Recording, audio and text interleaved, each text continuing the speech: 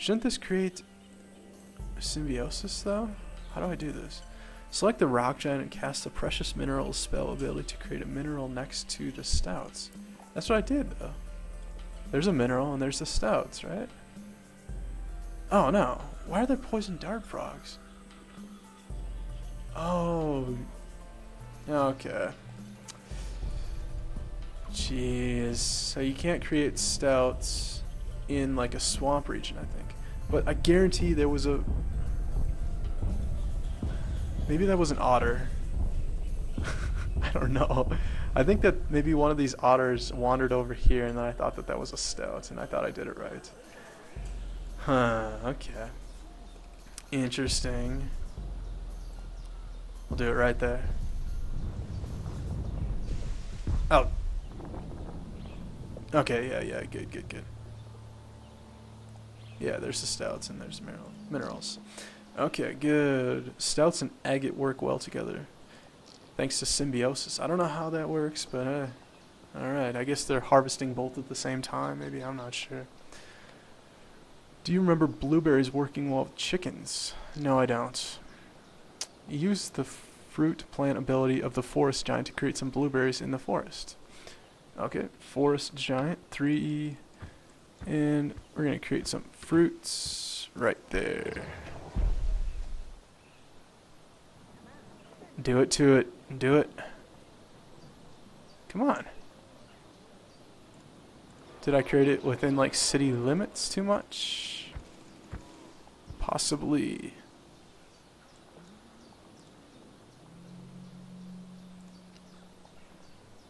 There's a lot to learn in this game. Mm-hmm. I'm trying to do it really quickly while I'm recording. Okay, I think I'll try this again over here. This should work, right? Yeah, th th some blueberries. Okay, there's blueberries here. Okay, now I think we gotta make some chickens nearby.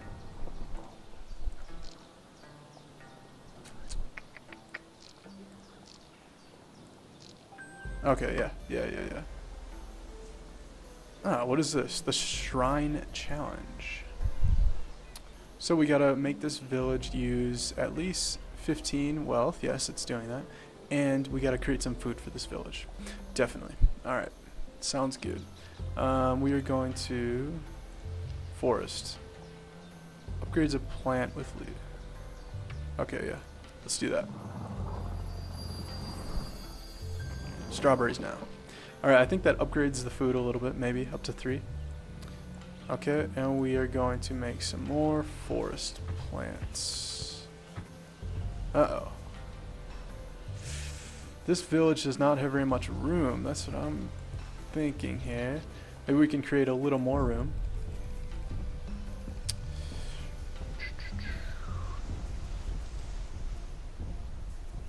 Okay.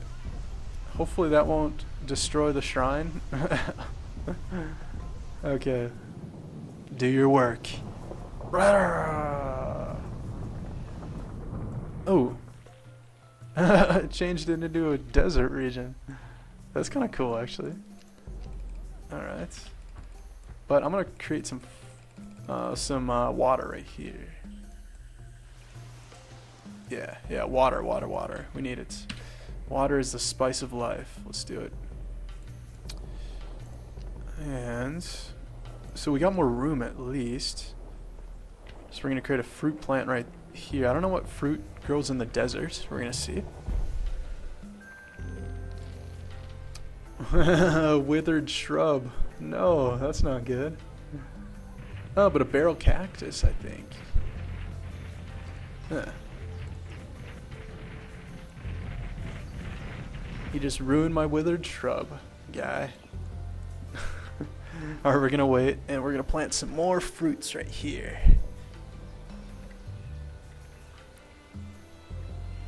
I'm waiting for the cooldown, 30 seconds.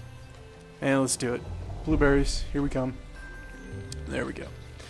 And we're gonna transmutate them.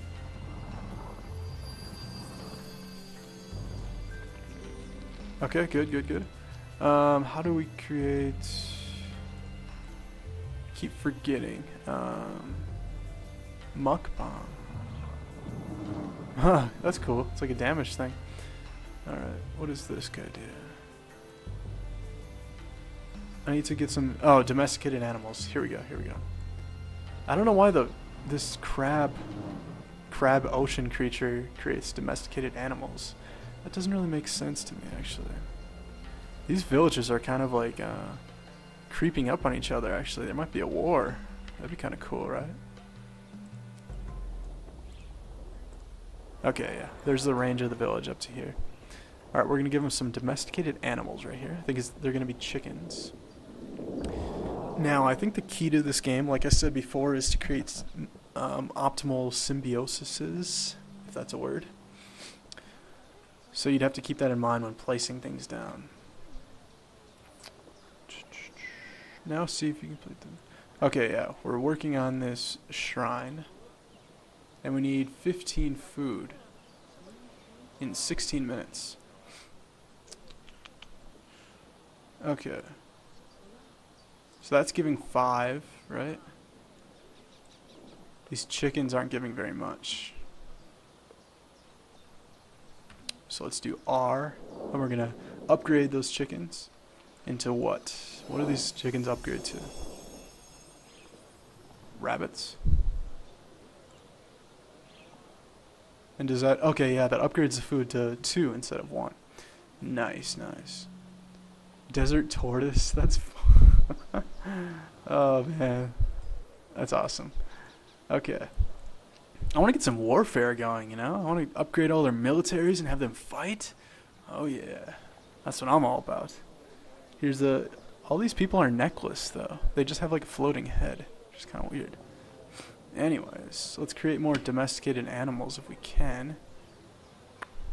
Let's see what the range of the village is. Okay, it's kind of creeping up. Um, yeah, let's get rid of the desert tortoises and place some more chickens. And we're going to transmutate them.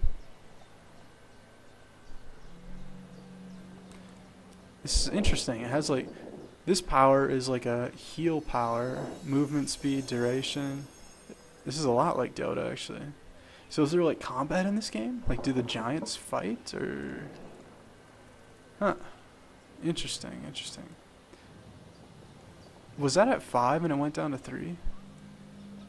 Hmm. Maybe that's because... I'm not sure. I'm not... I, yeah, whatever. Alright, these are goats. I guess goats are in desert regions. It's interesting that there's like lush forest, lush forest, and then there's a tiny little piece of desert. okay, so let's see. What do we need again? We need... Oh, we got rid of some of our wealth, though. Damn it. Okay. We can we can uh, get some more precious minerals right here. This will be it. Let's watch.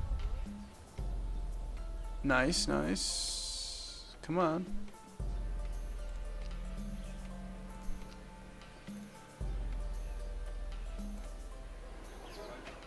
Oh, do I need symbiosis? Maybe? I'm not even sure. Ah. So we're kind of greedy. There's like different... Let's see what this... Oh, weird. Okay. So this village, Shiningborough, is not greedy at all. But this village is very greedy. For some reason. But they created their shrine, so that's good. They're extremely prosperous. Cool, cool. Now I know I'm playing this game horribly wrong right now, but just just stop it. Stop typing right now. Stop it. Stop typing bad things. Alright. Oh, as a result of their huge growth, your village has become extremely greedy. Be sure to tap space so you can pause and see what is happening. Yeah. Oh, sh got it. Oh no! They're attacking. Hold on, hold on. I want to pause this. Alright, so this village, Bannerport, is attacking uh, Shiningborough. Oh man, alright. I, I like Shiningborough more. Okay, let's see. Let's see what happens. Witness how the village falls into complete chaos. Oh no! They have a huge army going. Oh no. Okay, where's our defenses? Where's Shiningborough's defenses? Is beyond saving. Destroy them. The new villages. Use the rock giants. Okay, okay, let's do it quick, quick, quick. Muck bomb. F. F you guys.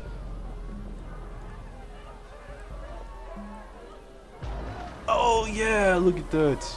You greedy bastards. Let's do an earthquake on you guys too.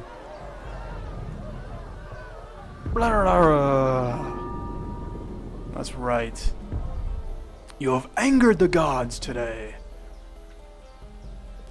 Yes, yes. I can't even remember their name. Brannon Port. I don't even know. They're, they just went down in history as just a complete idiotic, greedy society that the gods had to purge right away. Okay, so that was, that was pretty interesting actually. That got me like more into the game definitely than like the first two tutorials. That that third tutorial was actually like game like, you know. It seemed like I was playing a game more. So that's cool. That's cool. All right. Uh, third era has been complete. I'm just gonna see how much. Okay, so I think the next kind of mode is era mode, and you do different amounts of minutes. Cool, cool. Well, guys, thanks for watching. That was a first little preview, my first impressions of the game Reus.